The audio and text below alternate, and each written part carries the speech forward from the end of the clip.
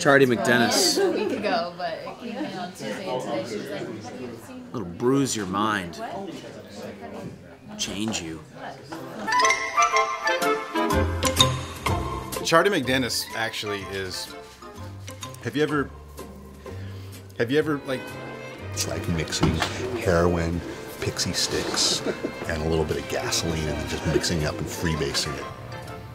It's a loaded question right there. Uh, unfortunately, we're not really at liberty to talk about it. And at, at the end of it, one of the group will kind of look at the, another person. It was actually a stalker I had in college.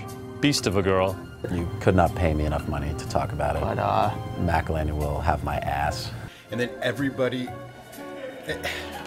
It's a game of epic proportions. I don't think we even that should have much I can game. say. Don't say I- game. I think Chardee MacDennis is like looking in a mirror.